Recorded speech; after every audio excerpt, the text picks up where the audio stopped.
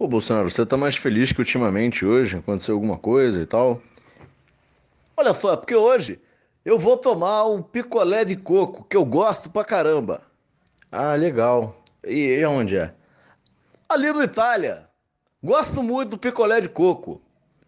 Tô muito ansioso para tomar. Hehe. Oi, boa tarde. Eu vou querer o picolé de coco, por favor. Sou Bolsonaro, acabou o picolé de coco. Sua vagabunda!